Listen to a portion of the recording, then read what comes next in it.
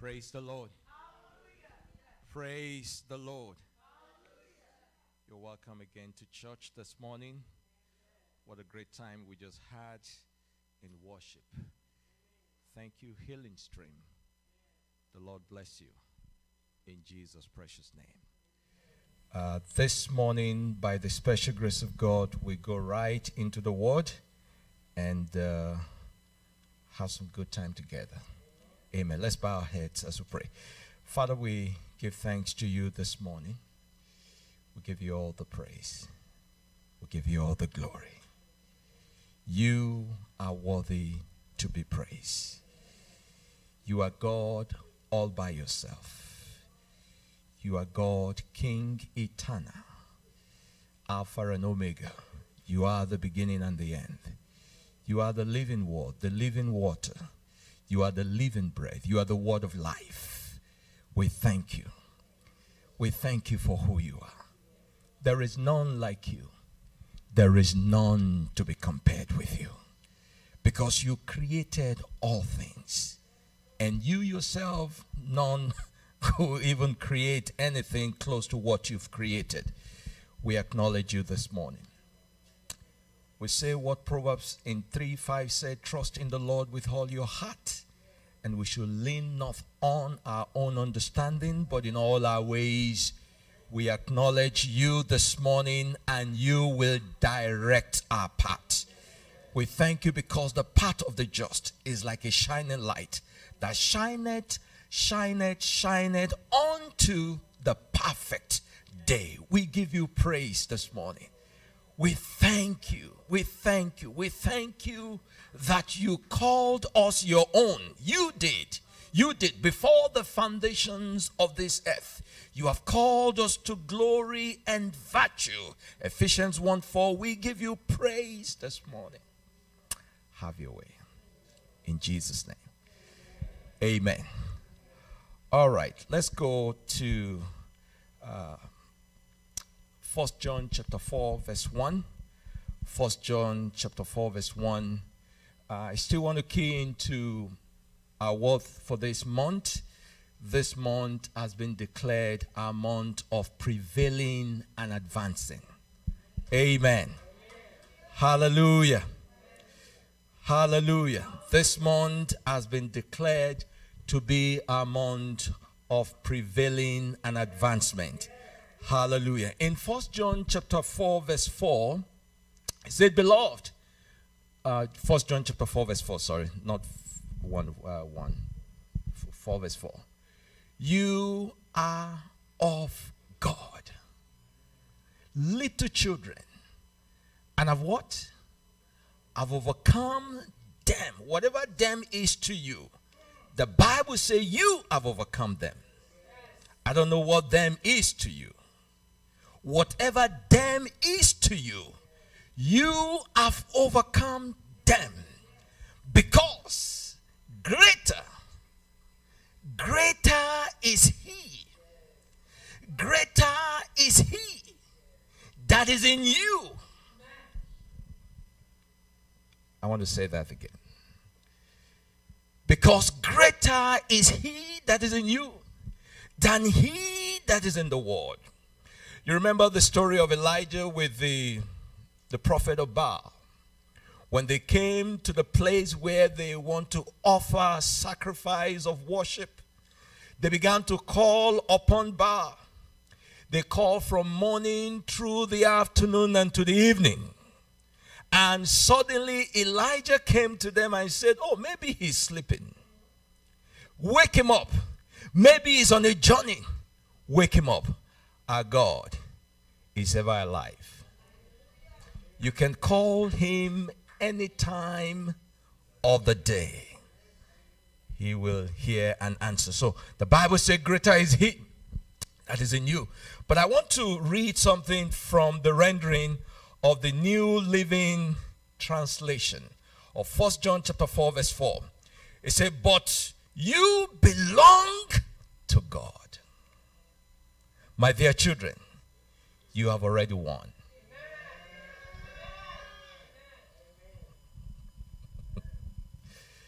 you have already won. a victory over those people. Like I said, whatever them is to you. Say, you have already won over those people because the Spirit who lives in you, the Spirit of Christ, the Spirit of God, is greater. Is greater than the Spirit who lives in the world. This is what we celebrate because we've won. We're going to see a man this morning, the man called David. In 1 Samuel chapter 17 was one of those scriptures that was read to us last week. David and Goliath. I'm sure children remember those stories from Sunday school. We remember David and Goliath. So let's go to 1 Samuel chapter 17. 1 Samuel chapter 17, I believe from uh, verse 40, and we go. But the key passage here is verse 50. Hallelujah. Remember, you belong to God. You and I belong to Him on the ground and basis of our relationship with Him. We belong to God because we have a relationship with God. We have a close relationship with God, unlike other religion. You can't even see that God that you're talking about. Talk more of having a relationship with Him. So David triumphed over the Philistine with only a sling and a stone. Wow. For he had no sword. So let's go to verse 40 and we see a little bit of what David did. Now remember, before David has to face Goliath, he faced the lion and he faced the bear. Okay, everybody is uh, quiet this morning. Before he withstood or stand against Goliath, he faced the lion and the bear. For us, we don't have to do anything because Jesus did it for us. We're just walking and living in victory. But you have to know it. You have to know it. You have to convince yourself Know it. See what David did. He picked up five smooth stones from a stream and put them into his shepherd's bag. Then, armed only with a shepherd's staff and sling, he started across the valley to fight the Philistine. David didn't do this on his own. Let's go to 1 Samuel 16, verse 13. You see why David was able to do what he was doing.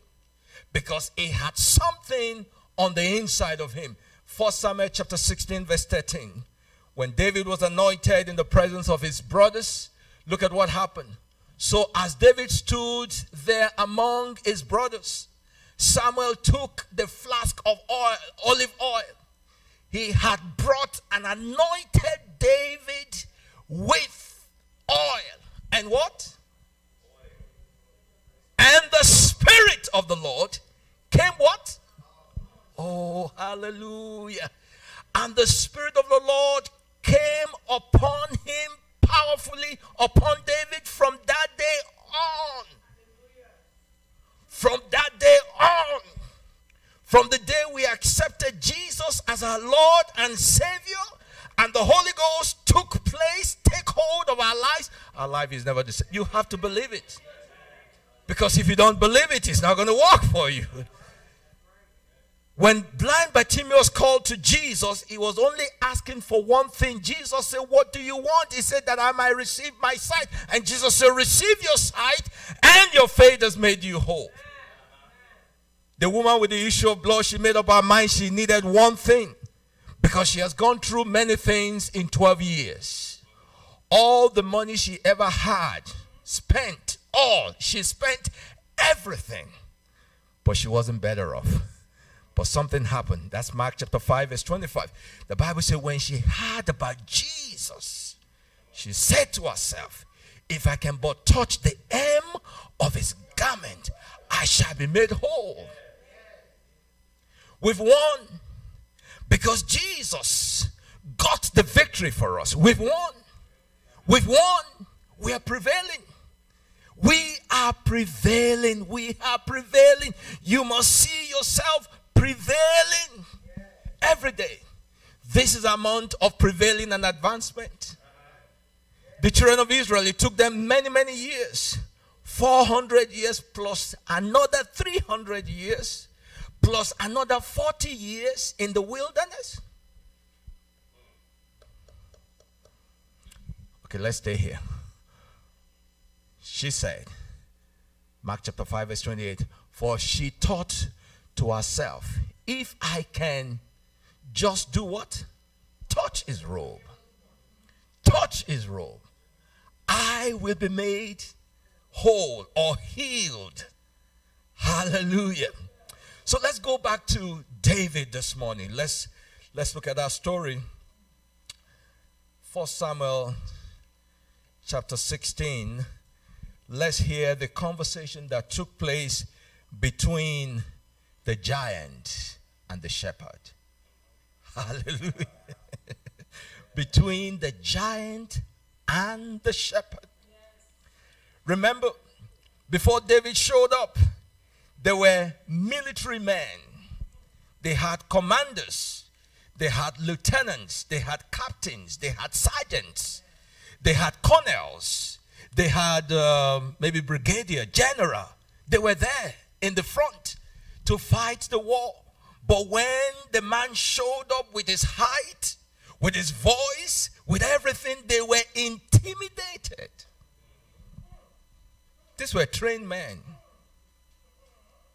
But you know the difference between David and those other men was the Spirit of God. That was the difference. So the difference between you and others is your relationship with Him. Listen, before we read that, listen to what Paul has to say in regards to the Spirit in Acts chapter 8, verse 31. Acts chapter 8, we'll, we'll come back to this and we'll try to stay with that by the special grace of God. In Acts chapter 8, verse 31, then men reply, How can I uh, not this here? Uh, Paul, where Paul talks about, no, it's Romans, I'm sorry, 8:31. I'm so sorry. Romans 8:31.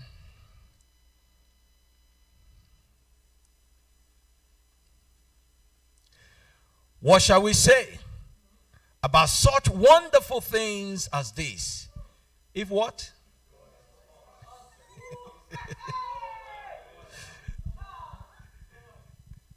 David was anointed.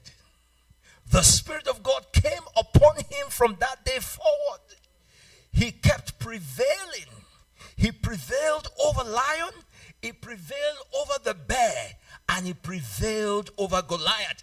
This is why he was able to do that. What shall we say about such wonderful things as this? If God is for us, who can be against us? Look at verse 32. Look at verse 32. Look at verse 32. Hallelujah. If God, since he did not do what?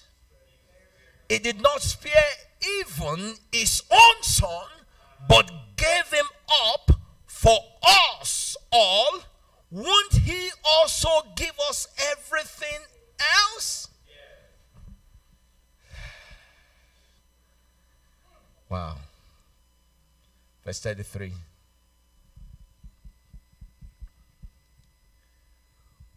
Who declares a cause us whom God has what? God has chosen for his own.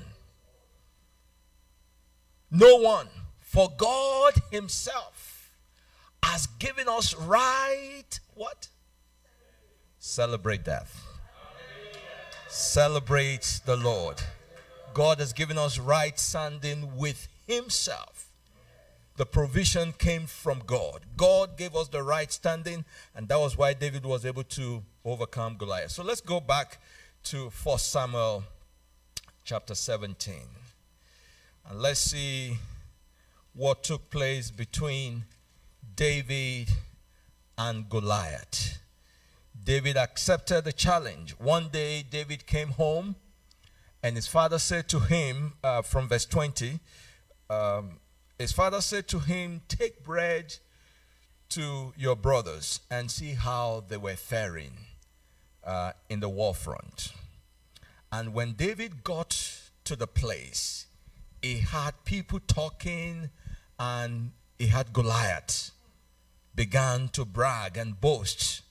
And David said, What shall be done to the man who killed this giant? David was talking based on his encounter with the Holy Ghost. His brother came to him and said, You've come again. Look at you. Aren't you supposed to be watching the sheep? You are here talking about killing Goliath. The Bible says he walked away from there. At the point, he said to his brother, Is there not a cause? Is there not a purpose for this? This man is insulting God. I can't stand this man insulting God. All right, I'll read from verse 20. So David got up early in the morning, left the flock with a keeper, picked up the provisions, and went just as Jesse had directed him. And he came to the camp, encampment, as the army was going out in battle formation. In battle formation, shouting the battle cry. Verse 21 Israel and the Philistine drew up in battle formation, army against army. Then David left his provision in the care of the supply keeper and ran to the ranks and came and greeted his brother. He was very respectful. Very respectful. Greeted his brothers. Wow. What a courtesy. Verse 23 as he was talking with them, behold the champion. Behold the champion. I'm reading from the Amplified now. It might be different from what is up there. Behold the champion.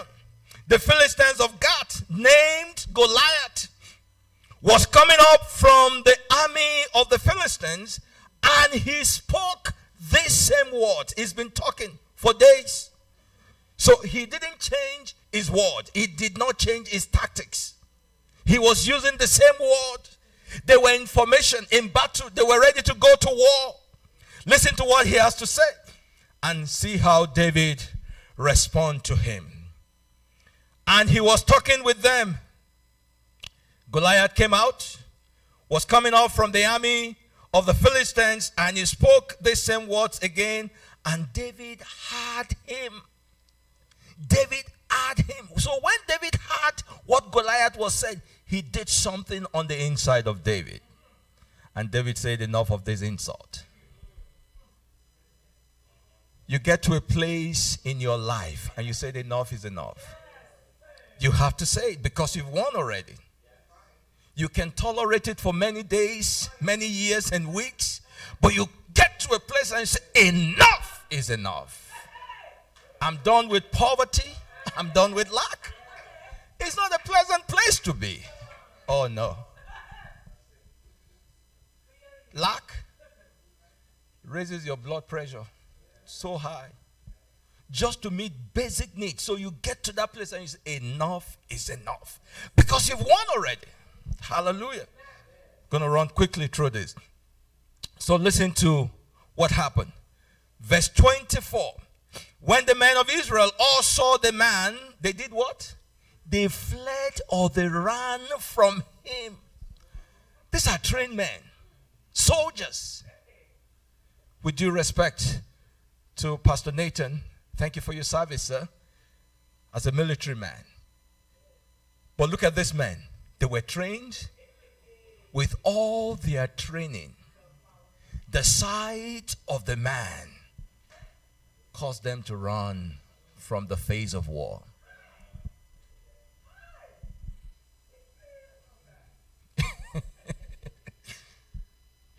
and all the men of Israel, when they saw the man, fled from him terrified. But look at look at just look at the next one, verse 25. Just follow me this morning. This month is a month of prevailing and advancing. This is how you do it. And the Israelites said, Have you seen this man who has come out? Surely he has come out to defile Israel. And the man who kills him, the king will enrich with great riches and will give him his daughter and make his father's house free from taxes.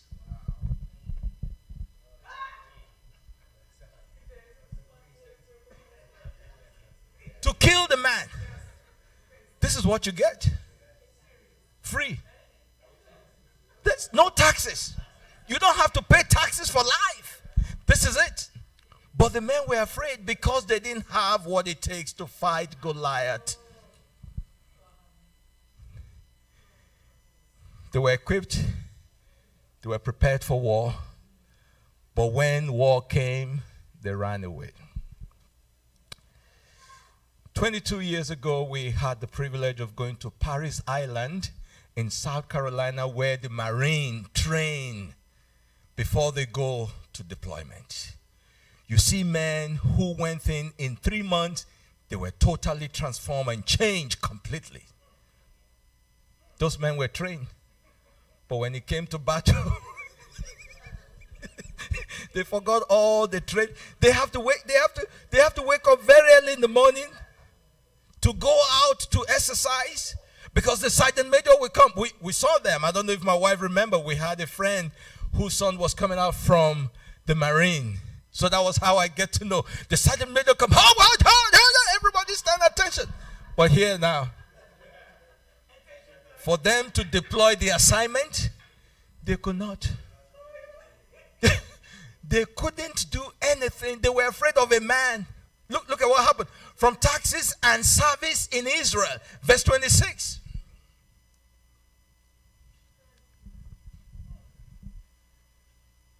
Verse 26. Okay, let me, we'll wait for that. Let me read from here. Amen. And David said, I love that. And David said to the men standing by him, he wants them to repeat what they just said. He wants to make sure he had them correctly. He said, What shall be done for the man who kills this Philistine take away the what? You see, the thing about David is taking away the reproach. And that's what Jesus has done for me. He took the reproach, He took away poverty, He took away lack, He took away sin, sickness, disease. He took it away, He took it completely. Reproach is not a good representation. So David said, oh, I want to take reproach away from Israel. For who is this? Look at David. Look at the response of David.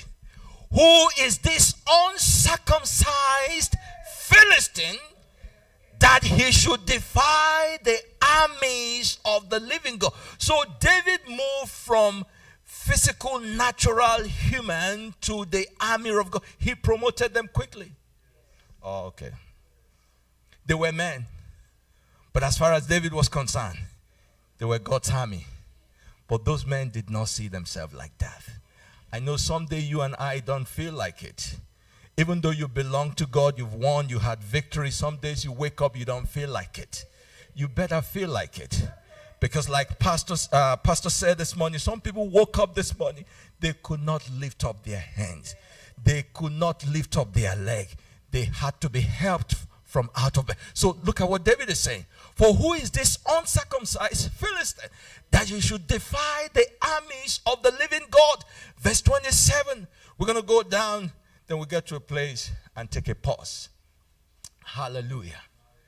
And the man told him, Thus it shall be done for the man who kills him. Verse 28. Why aren't they doing the same thing that David was doing? Because they didn't have what David had. David had an encounter with God. David had an encounter with the Spirit of God. You and I, you have an encounter with Him. Jesus lives on the inside of you. He lives on the inside. He lives in here. He lives. So when you are afraid, you have to tap into what is in here. You have to reach down to what is in here. He's here. He's here. He lives here. He lives here. The Holy Spirit lives on the inside. He lives for real. He lives on the inside. We must tap into it. So that's what David said. Now his brothers. Look at brothers now. Now Eliab, his elder brother, had what he said to the men. And Eliab's anger was kindled. How can you be a frab? You're angry with your brother. He's trying to help you to get delivered. Oh my goodness. Against David. And he said, Why did you come here? Okay, now you're telling him, Why did you come here? But you guys fled from the man. He's a preferred solution to your problem. You're asking him, why did he come? If he lives, you're going to be there with Goliath. He said, Why did you come here? With whom have you left those few sheep in the wilderness? You know, before David left, he left them with the keepers. He secured the animals with the key. He didn't just leave and just walk away. No, he left them with the keeper. But the brother didn't know that. With whom have you left those few sheep? The things we are counting on that is going to be our survival line. Why did you leave them and you are here? You are bragging. Okay. I think we're, I think we're getting the sense of the story now. In the wilderness, I know your presumption. I know your presumption. I know your presumption and your evilness of heart. For you came down that you. For you came down that you what? Verse 29. This brother is sounding like one of our people from, uh, from my hometown. I'm not going to say. from my hometown, not your hometown. Might see the battle. Oh, so you want to come and see. That's that's all. I know. He should get a break. He's alone with the sheep in the wilderness. Ah, young man, just, just think about it. He's, he had 10, how many brothers? Maybe 10 or 11 of them. Older brothers. He's the youngest. He's the one who is catering for them. Because he, he takes care of the sheep for them. He comes home to see how dad were faring, and dad say, Hey, take food, go and give to your brother. Nobody was thinking about David, but David was thinking about everybody as a nation. And David said, What have I done? Okay, let me let me just play something for you. This is older and senior in Nigeria. now. Okay, you didn't get that. Brother, what senior, what, what have I done? What have I done? What is my crime? And David said, What have I done now? What is not? Was it not a harmless question? What I'm asking you is not, it doesn't have anything to do with. And David turned. Oh, I like this. And David turned. You better don't do that to your. You, if you turn, okay, I'm sorry. Those who don't. In, in, in my culture, when an elderly person is talking to you and you turn, the next thing you're going to hear is slap. they slap. They slap you whether you whether you are right or not. They slap. So that's what David said. He did here. So to the brother is an insult. And David turned away from Eliab to another and he asked, You see what he said? The same question. And again, the men gave him the same answer. So let's go. Let's go down. Um, we're just going to go down to where Goliath began to talk to David, and David began to talk. When David words were heard, when David words were heard, look at what happened. And David guarded his sword over his arm, armor. Then he tried to go, but could not They took him to Saul. Saul said, Okay, you know what? This man is an army, trained all his life. You, you are a young man. But you see, what they didn't know was David had an encounter with God. This is the difference. He had an encounter with God. Then he tried to go but could not, for he was not used to it. And David said to Saul, I cannot go with this, for I am not used to them. And David took them off. He's not used to it. Thank God for David. Verse 41. ah, hallelujah. Then he took, the Philistine came on and drew near to David. I like that. The man who bore the shield going before him. This is the man that David is going to confront. He had somebody who bare his shield, not Goliath himself. There's another man who carried the shield for the man for Goliath. And when the Philistines looked around and saw David, he scorned and despised him. for he was but an adolescent. oh. Okay, adolescent. Help me. Uh, Mother Tracy was an adolescent. Is a kid. Almost, no, just say, what's that? Is he a grown up? Is he an adult? No, he's a little boy. Adolescent. Adolescent, okay. Thank you. He's a child with a healthy reddish color. Wow. And a fair face. And look at verse 43. And the Philistine said to David, Am I a dog? Am I a dog? Am I a dog? He's asking, he's asking David. Am I a dog? that you should come to me with sticks? And the Philistines caused David by his God. By his God. Gods. By his gods. Then the Philistines said to David, Come to me, and I will give your flesh. He's bragging now I will give your flesh to the birds of the air and the beast of the field. Verse 45. Then said David to the Philistines, You come to me with sword, with spear and sword, a javelin, but I come to you. But I come to you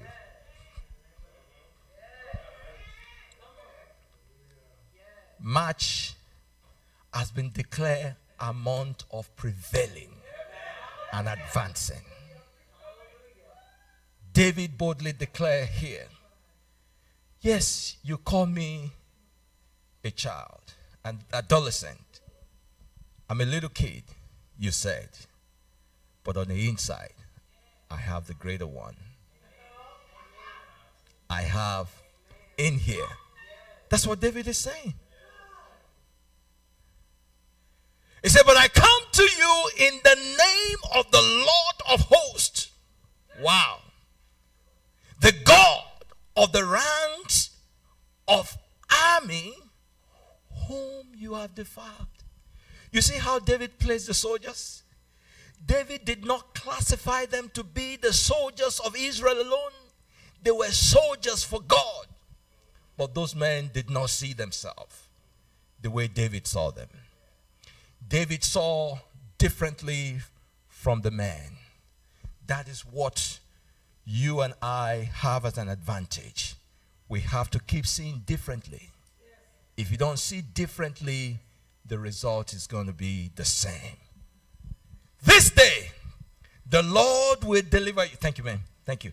The Lord will deliver you into my hand.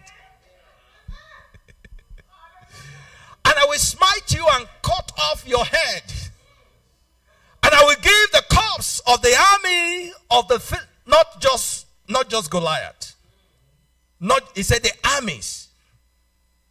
The army of the Philistines this day to the birds of the air and the wild beasts of the earth, that all the earth may know that there is a God in Israel. We must come to that place. We must come to that place. That in our daily walk with God, men and women will know that you have a God. It's a living God. You have a God. You have a God. You have a God. You have a God. You have a God. You have a God. You have a God.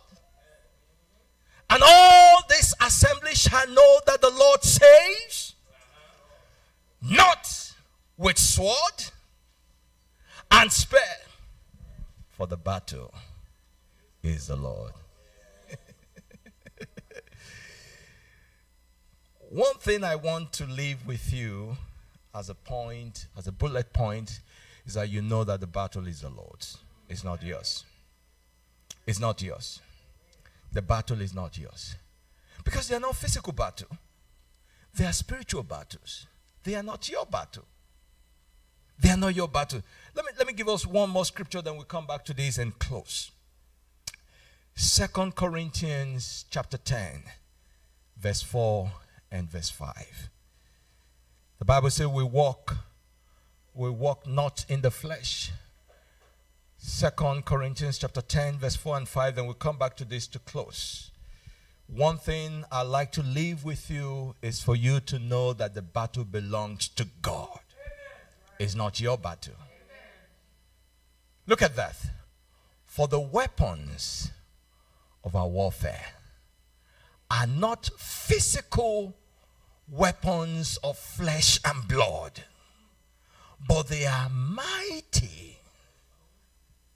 They are mighty before God for the overthrowing and destructions of strongholds. That's what we have. Look at verse 5. Hmm. Inasmuch as we refute arguments and theories and reasonings and every proud and lofty thing that set itself up against the true knowledge of God, and we lead every thought where? And we lead every thought and purpose away captive. Oh, you lead those thoughts away captives you lift those doors. He said, you lift them, you lift them away captive into the obedience of Christ for the Messiah, the anointed one. Hallelujah. So let's go back. I just want to add that to the scripture for us. Amen. Let's go back to that scripture, then we just finish and see how the battle ended. Who won? We see who win. Number two, you already won. You already won. You already won. So let's go back to um, 1 Samuel chapter 17, and we just close from there. Okay, we're done with that. Thank you. I'll read from here. Okay, yeah, thank you. And all the assembly shall know that the Lord saves not with sword and spear, for the battle is the Lord's, and he will give you into our hands. David was very confident of what he knew about God. When the Philistines came forward to meet David, David was doing what? David began to advance. The man too was advancing. Both of them were not just talking. No, just, just imagine. So the battle is left to David and Goliath. So what about the soldiers? what about the soldiers? That should, that should be enough fuel for them to be able to back David up. They did not back him up.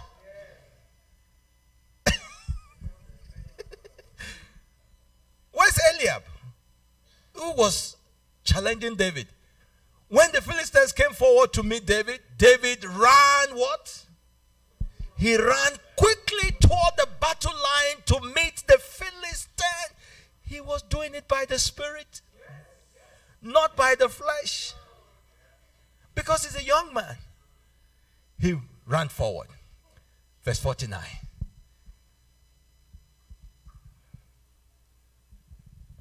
Verse 49. David put his hand into his bag and took out a stone and slung it, and it struck the Philistines sinking into his forehead, and he fell on his face to the earth. All arguments, all obstacles, all challenges before you and before me, they already fell in this month. In the name of Jesus. They already fell in this month. In Jesus' precious name. I say they fell. If David could do these things by the Spirit, now that we have the Father, the Son, because Jesus said it. He said, When I come, I knock at the door. If you open the door, he said, I and my Father will come into you and sup with you and fellowship with you. So we have God here, we have Jesus here, and we're still afraid. I don't get it. I, I don't know. I don't get it. I get there sometimes. But look at what David did. And David put his hands, okay. So David prevailed over the Philistines with a sling and with a stone and struck down the Philistine and slew him. But no sword was in the hand of David. He used the sword of the man. What a victory! What a victory! What a victory! This day, as we bring this to a close, I want you to know that Jesus has conquered for you and me. We have to affirm what God has done for us. We have to speak those things. We have things come against us. We have oppositions. We have things from left, from right, from center, all over the place. They come against us. But thank God for the victory in Jesus that we have. David succeeded because he had an encounter with God. Let's bow our heads as we pray. I just want us to talk to God this afternoon. Till this day, David is still being celebrated as the king of Israel. There is the Star of David in the flag till this day is being celebrated because he was a man after God's own heart. He was a man who believed God, who trusted in God, who knew that God is able to do those things for him. And when the Spirit of God came upon him, there was no doubt in the heart of David. He showcased God, he declared the word of God, he affirms what he believes. Today, I want you to keep the affirmative words of God before your eyes every day because this month has been declared a month of advancement and prevailing. We already prevailed. Just talk to the Lord this morning or this afternoon, rather. Just tell Him He's already won for you and me. He took care of the battle for us. All we have to do is to go to Him and talk with Him and worship and thank Him for what He has done. Our Father, we thank you this day. We give you all the praise, we give you all the glory. We thank you for what you did through David. David was an instrument in your hand, he was a tool in your hand. This day, we look to you. We thank you for the victory obtained for us. We thank you because we know that the battle is already won. Thank you for the victory of the cross. Thank you for the redemptive grace and power of our Lord Jesus Christ on the cross of Calvary. Thank you for salvation. Thank you for allowing us the opportunity to receive you as our Lord and personal Savior, we give you praise today. Lord, we go in the light of this truth that we have had this day. We ask you, Lord Jesus, to have your way. Take control of all that we continue to do this day and into this week to the glory and honor of your name. And Lord, we call to those who are yet to give their heart to you that they can come now and accept you as their Lord and Savior. Because you tells us in John chapter 3 except a man is born of the water and of the spirit he cannot see the kingdom of God. Except a man is born again he cannot enter into the kingdom of God. Lord we ask this afternoon that men and women will come to you and confess to you their sins and accept you as their Lord and personal Savior. We thank you. We glorify you. Thank you for the blood and thank you for the name. Thank you for the precious blood of Jesus and thank you for the name. In Jesus' name. Amen. Amen. God bless you. Thank you.